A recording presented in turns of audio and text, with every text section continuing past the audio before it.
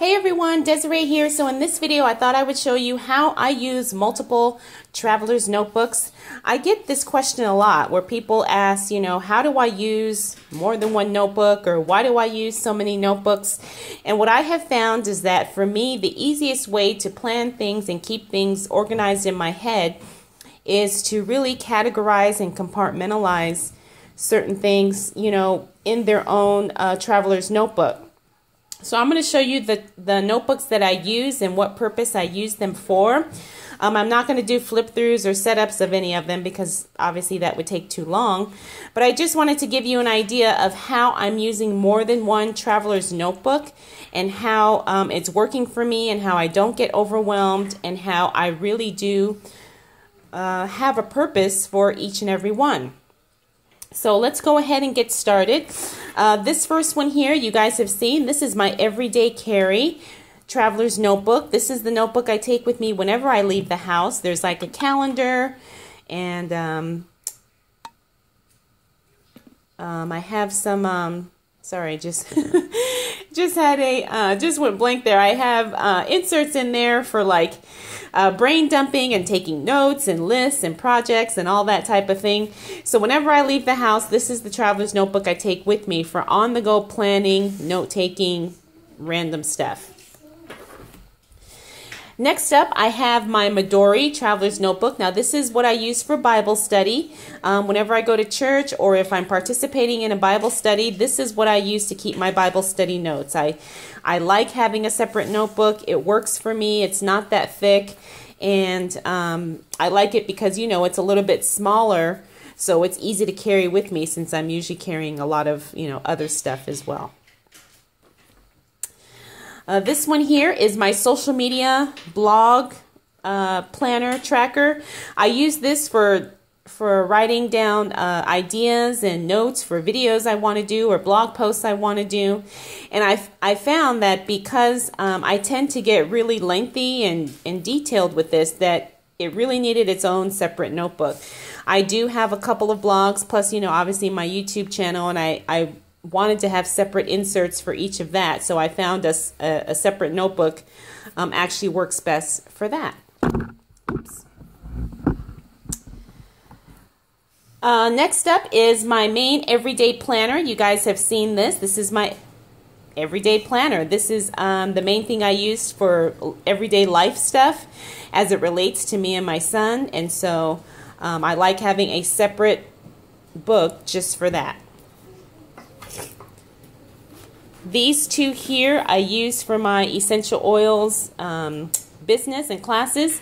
I know I have mentioned before that I'm taking classes, so the blue one is basically for my essential oils um, business and aromatherapy classes. And then I use the hot pink one um, for notes about the oils themselves, like recipes for blends and, and notes on the specific oils and you know how they work and what they do. So these two are my essential oils um, traveler's notebooks. If you saw my video yesterday, you saw this uh, chunkster here. This is basically just a random, excuse me, notebook of, you know, things that I um, just keep at home. There's no specific one use for these these are this is basically just holding inserts that have random lists notes ideas um, some brand new inserts in there as well so this is basically just randomness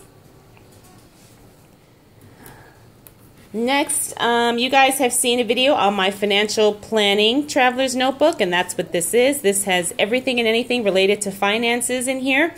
And again, because I do tend to be a bit detailed on this. I found that having its own separate uh, notebook was easier for me to manage. And then lastly, I have my journal. Every morning I write out my goals and this is the notebook I use I use for that. This stays by my bedside. So um, every morning I just write out my goals real quick and that's usually how I start my day. I also do some journaling in here sometimes, but mostly this is just for my daily goal writing. And that is it. So let's see how many notebooks do I have actively in use. Now, of course, you know, I don't use these every single, I don't go in and out every single one every single day. But as you can see, you know, they each have a specific purpose. And in my mind, it's much easier to keep track of all of this information when I have it categorized like this.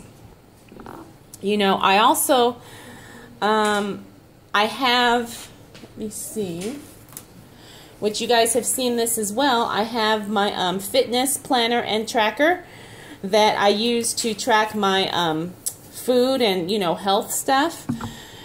And then um, I'm considering starting another one just for recipes. I'm not quite sure yet if I'm going to do that in a traveler's notebook or more like in a binder style because it'll be easier. But anyways, I hope uh, this helps to answer the question of how I use multiple traveler's notebooks. And maybe it might give you some ideas too on how to use, you know, multiple traveler's notebooks, especially if you have a lot of things going on in your life that you need to keep track of. All right, everybody. Uh, thank you so much for taking the time to watch. Make sure you like and subscribe this video because I've got a lot more to come. And, um, yeah, I guess that's it for now. Thanks so much for watching. I'll see you. I'll see you in the next video.